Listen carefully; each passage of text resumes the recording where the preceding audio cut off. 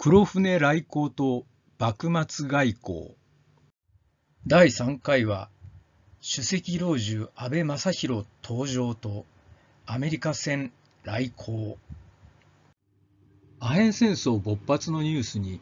いち早く接し早急な西洋式法術の習得の必要性を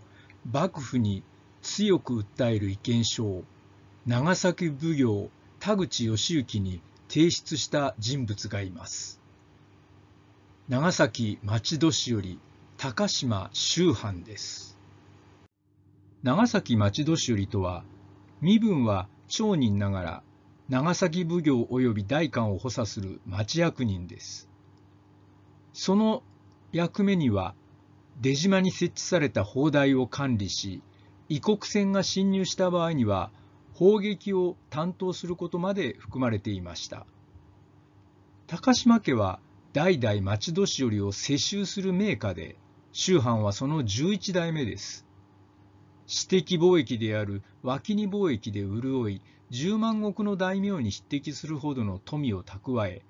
長崎の大村町には広さ1024坪の邸宅を構えていました。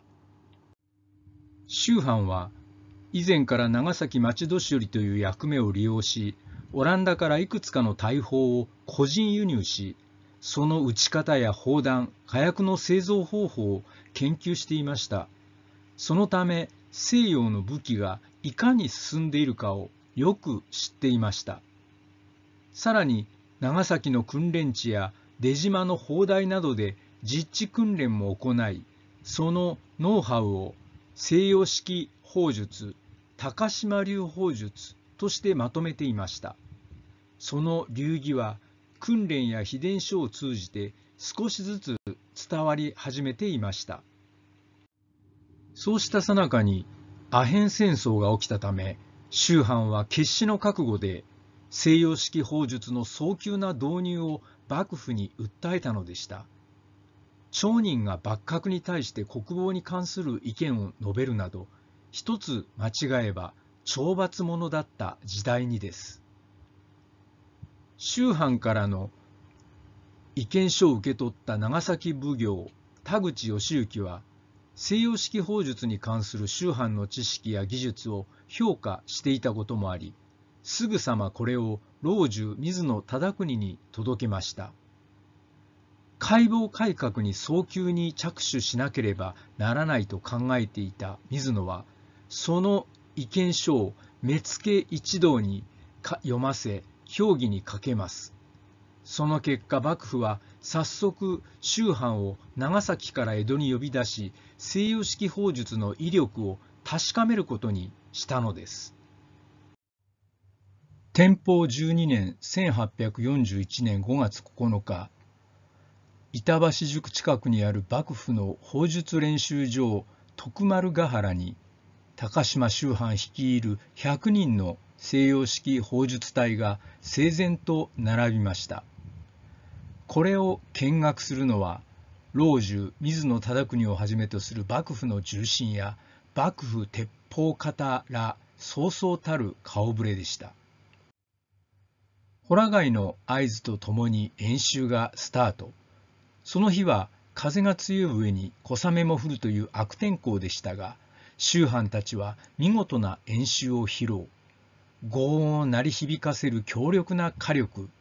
歩兵、騎兵、砲兵を組み合わせて部隊展開するという組織的で迅速な戦術。初めて目にする西洋式砲術の実演に見学者は度肝を抜かれます。ちなみに徳丸ヶ原は現在の高島平もちろんその名は高島宗藩に由来します。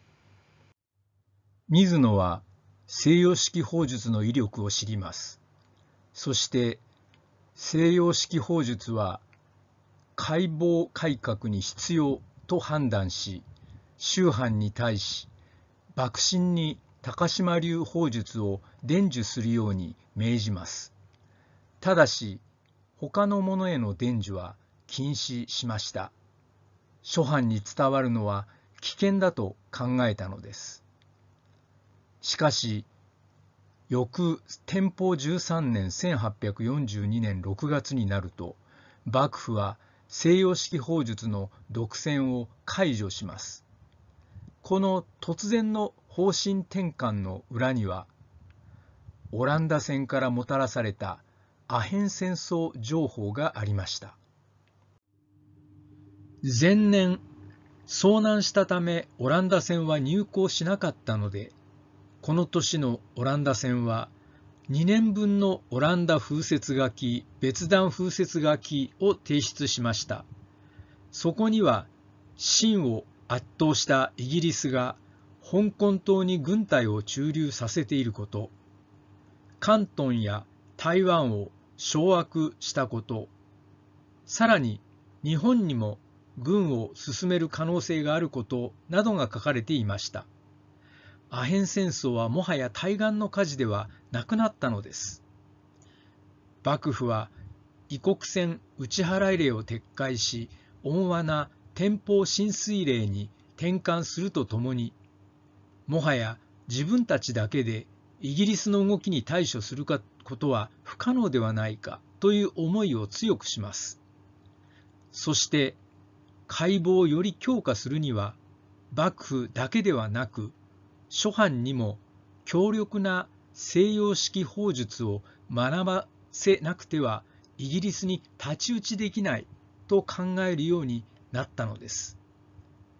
間近に迫った外からの脅威を前にした幕府は諸藩任せやその場限りだったこれまでの対応を改め西洋式法術を活用した積極的な解剖改革を進めていこうとしたのです。しかし10月、この流れに水を差すかのような事態が発生します。解剖改革で重要な役割を担っていた高島周藩が突然逮捕投獄されたのです。容疑はオランダ人と通じて謀反を企てているというものでした。通説では裏で糸を引いていたのは鳥居洋蔵鳥居は水野忠国の腹心の江戸南町奉行で天保の改革において非常に厳しい市中取締りを行いおとり捜査を上等手段とするなど剣謀術数にも長けていたため当時の人々からは妖怪とあだ名されました。洋蔵の洋と簡易の貝の神の貝からのネーミングです。鳥居は同じ頃庶民に人気の高かった北町奉行の遠山の金さんこと遠山影元とも対立して水野と手を組んで遠山を官職に追いやります。翌年解剖改革の推進役を担っていた老中水野忠国が天保の改革の失敗で力を失い罷免されたことも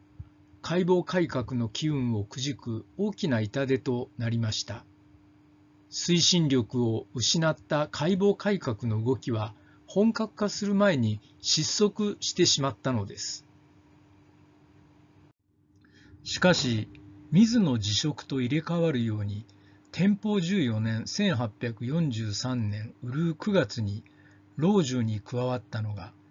若干25歳の備後福山藩主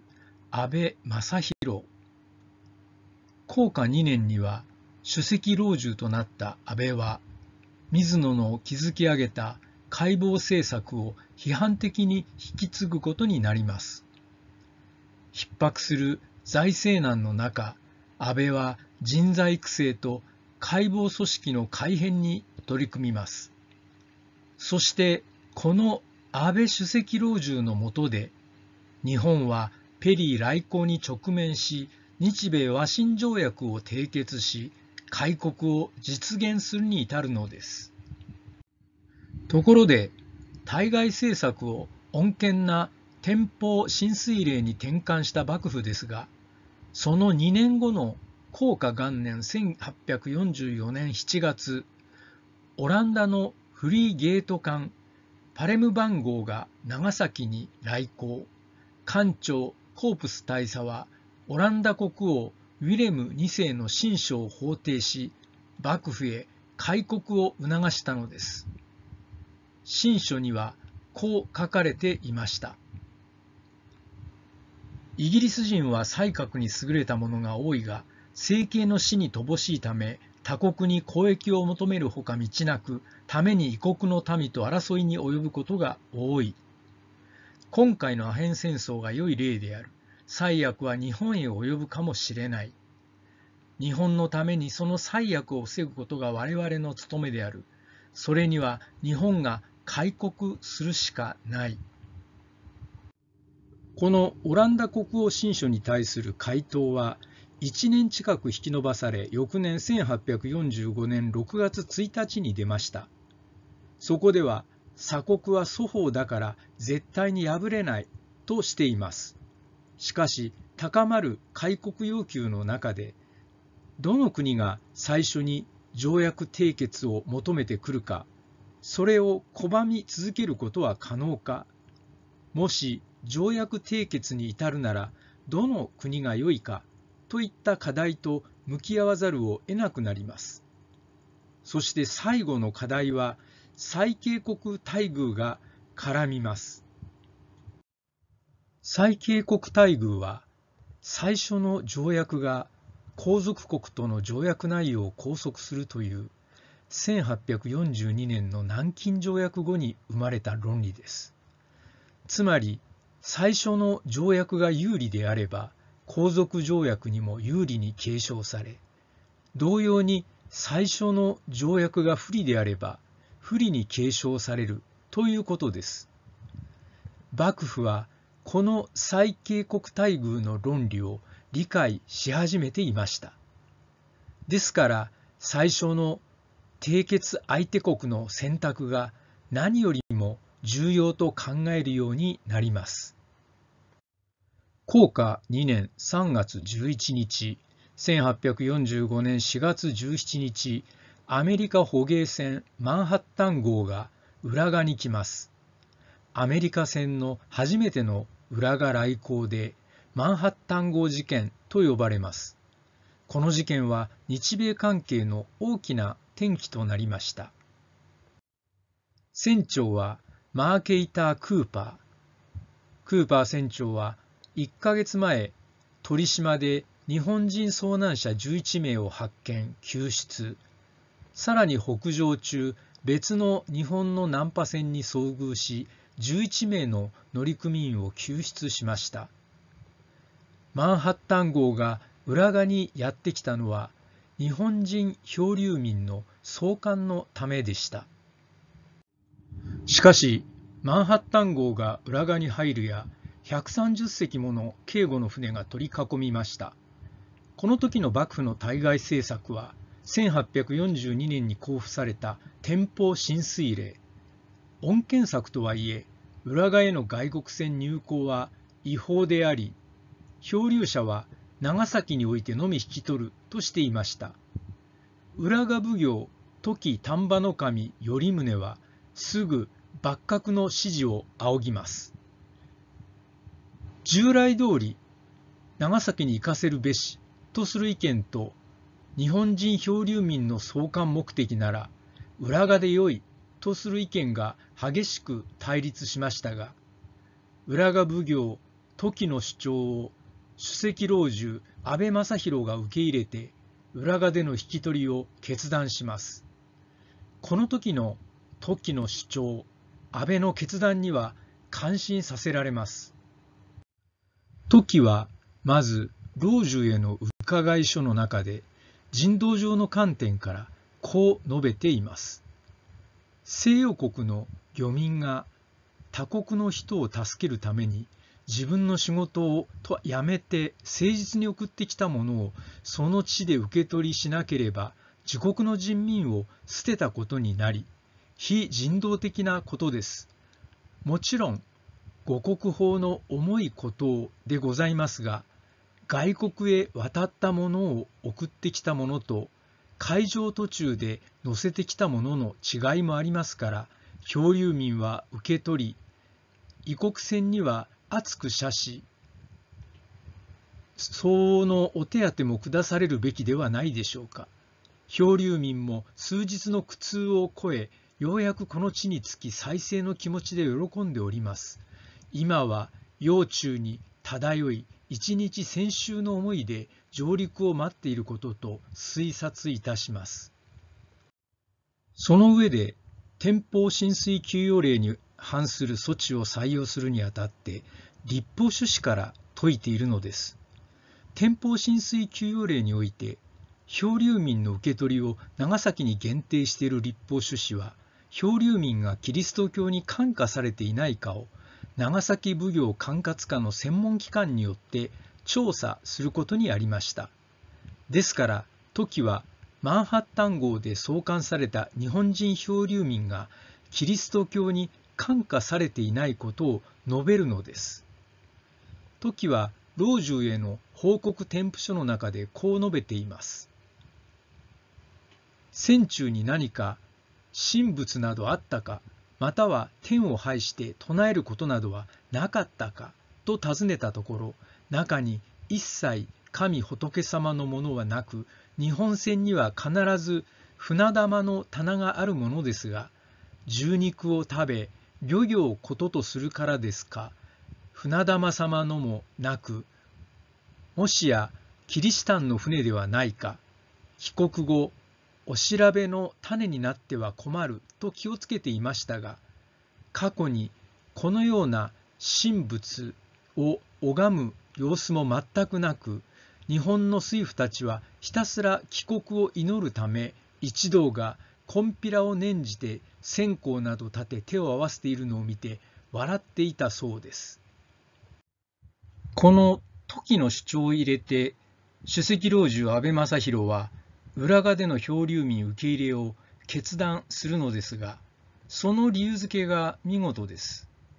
こう述べています。第一に、今回の漂流民は、キリスト教への接触が認められないので、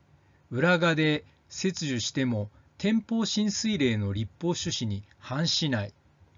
第二に、天保浸水令は発布施行されてまだ時間が経っていなかったので、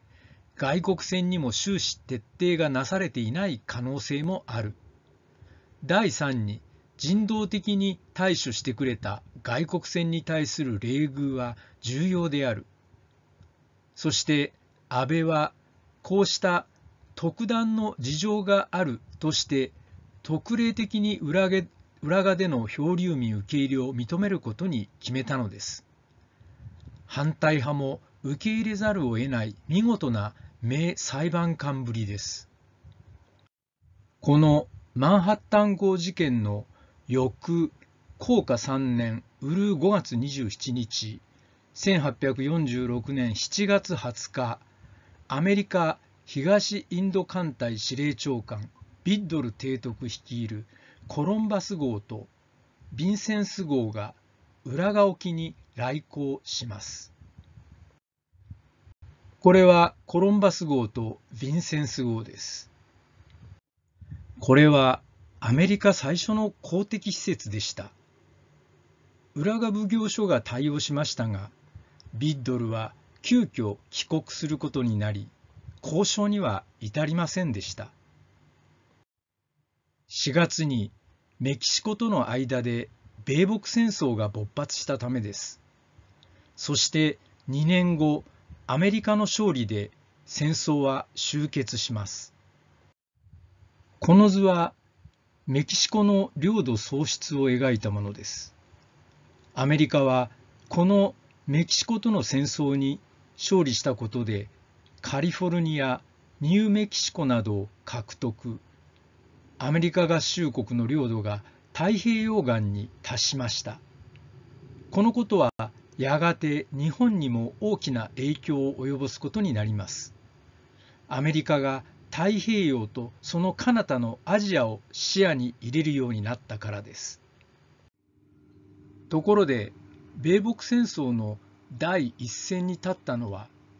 メキシコ湾艦隊を中心とするアメリカ海軍でした。そして開戦前からメキシコ湾艦隊の副司令長官であり、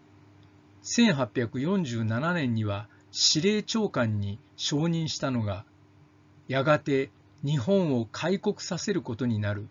マシュー・カルブレイス・ペリーなのです。ところでアメリカ戦は嘉永2年3月26日1849年4月18日にもやってきます。アメリカ東インド艦隊プレブル号グリーン艦長の長崎来航です。前年に北海道に漂着したアメリカ船の乗組員を救出する目的でした。この救出事件は日米双方の合意によりわずか2週間で円満解決し、アメリカ人漂流民は無事母国へ送還されました。以上述べてきた3回の経験から幕府はアメリカに好感を抱きました。また1776年にイギリスから独立という建国から日の浅い新興国であることも好材料となりました。こうしてアメリカは最も遅れて登場し最も早く条約を結ぶ国となるのです。